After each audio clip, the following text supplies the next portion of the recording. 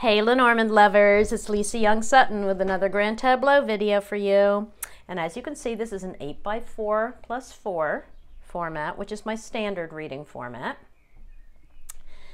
And I chose another reading that I performed last year so I could provide you with all of the uh, client's feedback. Now, this reading was for a woman who's a client of my grooming shop. And by the way, if you can find clients or, um, you know, yeah, clients to read for that you have regular long term contact with, it's the best way to learn because you will always get feedback from them. And I performed tons of free readings the first year, uh, just just for lots of practice. And what I love about reading for my grooming shop clients is that I see these people on average every four to six weeks. So I am constantly getting updated on their lives and therefore updated on their readings.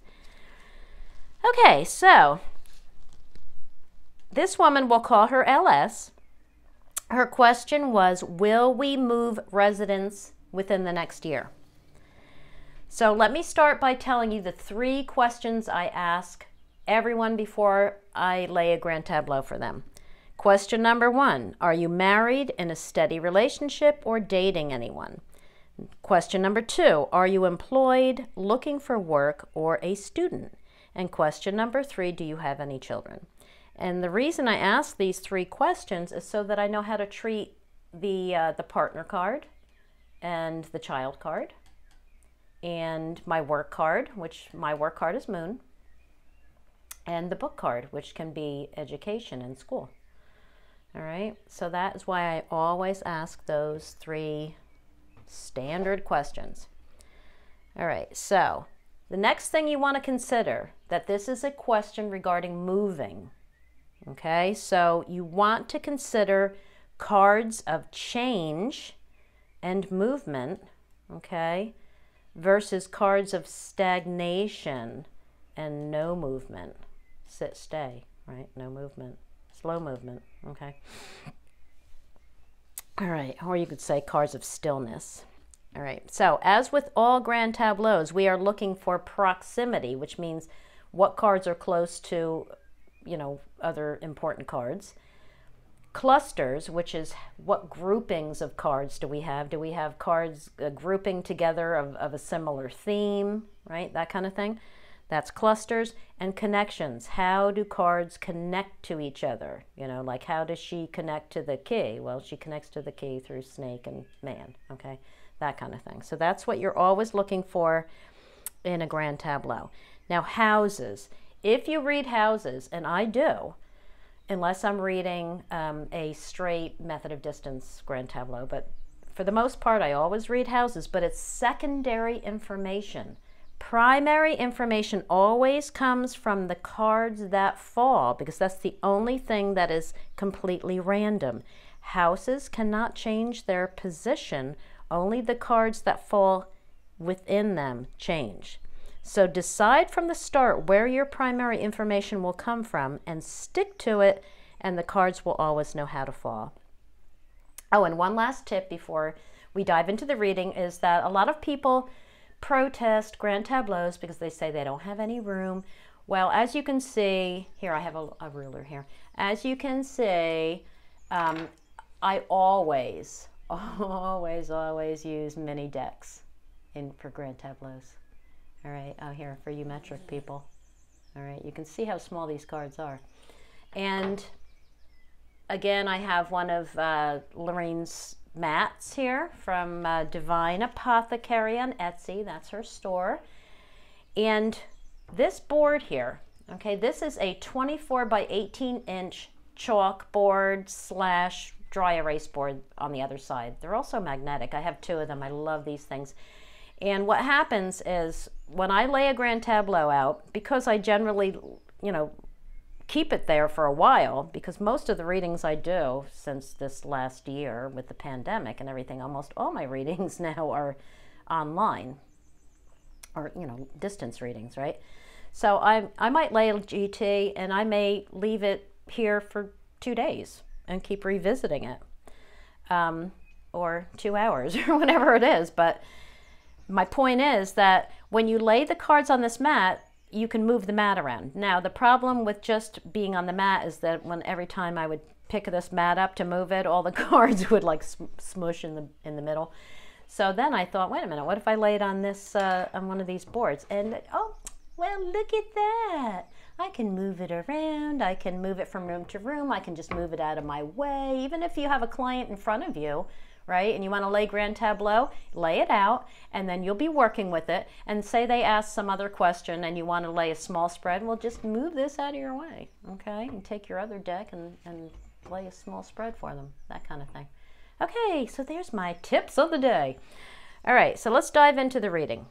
Now, what is the first step in a grand tableau reading? First three cards. Why? Because they begin the story. They are just like card number one in your box spread. All right. So what do we have here? Well, look, I mean, this is a question about moving, right? So we have communication regarding moving is coming fast. And I can already see that rider is heading to um, clouds. So I know that the, the, you know, where the, where the rider is heading tells you what the communication's about, right? That he's bringing, what the news is about that he's bringing. So we already know, I mean, this is in rider. so this is, he's, he's delivering a message. It's coming fast and it's not good regarding moving. Okay. Okay, next I look at the four center cards. Now you disregard the fate line when you're looking for your center card, so it's these four cards because this is the heart of the story. This is just like the center card in the box spread. So from this I can see that the key to the house, the key to moving, is in danger of being cut. And her husband's playing a, a significant part in this, and he's maybe not quite on board, all right? Either that or he's just knocking himself out. But, you know, for now, I know that there's an issue here. The husband's important, and there's danger regarding finding a solution for this. Okay, next I look at the four corners. So the four corners are framing the story. So what we can say is, you know, we have loyalty we have communication. So th- remember, this is her reading. So she is loyal to what she's communicating, all right? And then we also have energy and we have um, uh, slow slow um, growth and um, you know something that's just taking root something the health of this situation is going to need care and time to thrive. So she's putting energy into making this grow. But but this as a corner card this tree tells me that it's not going to happen fast. So right away i could see that. All right? All right. Now I check the fate line because the fate line is the bottom line of the story. So we can uh, compare this to the exit card in the box spread, card number nine, right? But unlike the box spread, because this is using the full deck and we have so much information here, we don't want to jump to a conclusion yet. So we want to make a first analysis of the fate line and then we revisit it at the end. Okay? So, what can I say from this? uh, fate line is that every time an attractive option is offered, it's blocked. Okay? Progress will require strength and fortitude. And so far, this is in alignment with everything else I've seen so far. So, like I said, I, I write that down and then I come back to it at the end. All right, now I want to look to see where the cards fell. And I always start with my primary significator card, which is her, which is LS, right? And I want to see where she fell. Now remember, I always read left to right. The fact that she's facing left gives me secondary information, but it's not primary. My primary flow of energy is always left to right. Okay, so from her position, I can say that she's she's in the third row down, so she's not in complete control. She's also in the next to the last column, so she has a lot to deal with before she can reach her goal. Okay, so she's not, you know, if she were over here, she'd be in charge, she'd be driving it forward, that kind of thing. But she's she's almost at the end here, so she still has a lot to deal with to make this happen. All right, so now that's just what her position tells me. So now I want to look at her box. I'm going to look at the cards that are touching her, her closest proximity to her. Okay, so what we can say from this is that regarding what she desires, there's something wrong. Okay? Something is not quite straightforward. Okay? Doesn't mean, you know, don't think of wrong as necessarily horrible but but it tells you that there's something a little off. Something is a bit askew, okay? Now, her her new plan is stagnating. Okay? Her new plan needs needs time and patience and that kind of thing. All right? Now, the new information that's coming to her, that all of the new information that's coming to light is proving problematic. Okay? There's difficulties. Okay? And then the the ship is her journey, right? what's it countering here? The the uh, the long-term card, the card of many steps, the card of red tape and bureaucracy and all of that stuff, right? So there again, I knew that there would be uh, many steps before she she uh, completes her journey. We could say.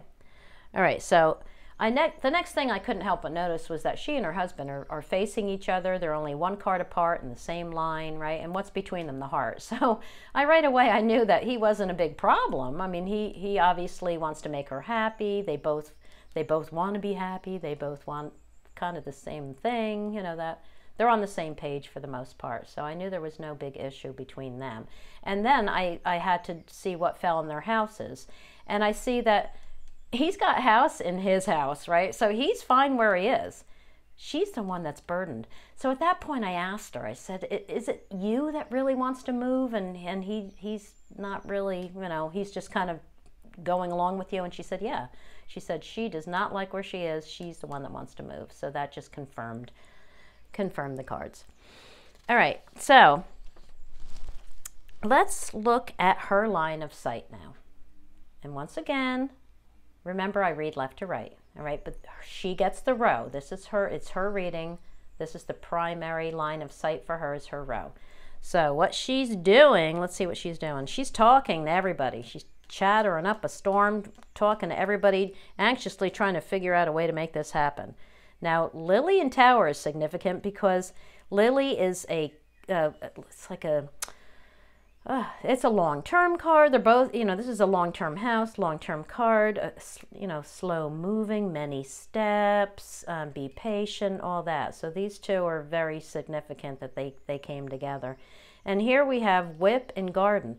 Now that, that comes, comes into uh, play big time late, later in the reading. But that told me that there is some kind of discord in her environment among the people that she's dealing with. Okay, so I wasn't sure yet quite what that meant. So I, I but I wrote it down and I knew I was going to go back to it. Okay, so I then couldn't help but notice that Scythe is in Birds right above this, and Birds is in her line of sight, which happens to be in the house of moving. So I could not help but notice that, and I thought, you know what, she's she's got to stop talking about this move so much and and cut to the chase and deal with this. All right, so we will come back to that. All right, next, I want to check his line of sight. So remember, it's her reading. She gets the row, he gets the column. All right, so he is trying to open up every every opportunity, right, to make this happen. Whoops, to make this happen for his wife. But it always ends in despair, right? Doesn't it? And he can see that, you know, the, the goal is just starting to take shape, but it's, you know, he, he's not, uh, he, he can see that he's not going to make this happen in the time frame of the reading. Let's put it that way. Okay, I, I could already see that just from his his line of sight. All right, so now remember that he's one of the, the central cards in the heart of the reading. So I knew he was important. So now I want to look at his box. I already read hers, right? So now this is his. All right, so what we can say is that he's knocking himself out trying to give her what she desires, right? But every every door he opens is met with a problem, met with uh, despair, you know, a burden um, that, that must be endured. Um, look at this new house. So he, he would love a new house, All right, but but the journey is slow moving and it's in, in danger. Okay, there's some danger regarding, um, you know, this journey. All right, so I write that down and I move on. So now I check movement cards versus stagnant or still cards. So the, the two primary moving cards are Stork and Rider, right? So look how far they are from her. They are very far. They are out of her reach. That's the first thing I notice. But look at all the cards of stillness or no movement. All right, these are her very near cards, right? The box around her, and then you go out one and you have the near cards to her. All right, everything else is far and very far. All right, so she's got she's got slow growth, she's got uh, slow movement, she's got many steps to get there. She's got, I mean, the snake kind of coils around itself, so it's not really going anywhere. And she's got this is no movement, this is sit stay no movement. Okay, so you can see all the cards that have grouped around her and the fast moving cards and the card of options and everything are far from her. All right. So I then notice, what do I notice then? That okay, so she she's getting she's getting the message all right? So i'm still focusing on movement moving right? I mean that that is the question all right? So she's getting the message as letters in rider. What message is she getting? Well what's in the house of letter right? Because we have letter in rider right? Rider is bringing the message regarding moving okay? I want to know what the message is so because letter is in rider, I want to see what's in letter and it's my work card. So I ask her, is your job holding you back from moving? Bingo. Okay. That was it. She, all right, this is what she told me. She is a hairstylist. She has a tiny little salon in her home. It's so small that she can't even add another chair. So she works on her own. She can't even hire anyone. She can't expand her business at all. There's also nothing to sell because it's not like she she has a, a client. Uh, I mean, she has a clientele, but she doesn't have employees. She doesn't have a location. You know what I mean? It's just a, a room in her home. So if she moves, she's going to lose her clientele. Now, look, Remember this? Remember I said we would come back to this? There's the discord in garden, okay? Now also, what's in the my workhouse? Tree. Unhealthy situation, needs time, needs care, right? Okay, so it's all coming together. Then, I can't help but notice this. She thinks she's chained to the small house, right? And this is in the house of coffin, okay? She's feeling, and look where coffin is. She's feeling boxed in, I mean, what's in her house? Clouds. What's in clouds? Coffin. What's in coffin? Dog. Okay, so there, there's you know a uh, a linking of the cards, right? She's she's she feels she's chained to the small house. She feels boxed in. Um, she she's stagnating. All of that. This is there's problems. Um, you know, this is all coming together to tell me the story that this move is not going to happen this year. Remember, she's asking, will it happen this year? No, it's not. All right. So now I want to help her, you know, to, to move forward, right? I don't want to just say, no. I don't want to just answer her question, no, sorry, you're not going to move. I, I need to help her figure out how she can make this move happen because we already see that Stork is in clover, right? Clover's in tree. Tree is in her moon, which is basically at her heel, right? You could say that's the hidden issue for her, right? So I knew that, that the answer to make this happen is work. I then noticed that she's standing on book, okay? Book and sun. What does she need to see clearly? All right, there's something she's not seeing, right? So I say, okay, so what was your plan if you moved? Like, how were you planning to earn a living? I mean, she's not of retirement age yet, you know? So then she tells me that she used to be a business proposal writer. Like, that's what she did when she got out of college. She became a hairstylist so that she could work from home to raise her kids. That's how this all started. So her re- not her retirement plan. Her her plan when she moved was to get back into business proposal writing.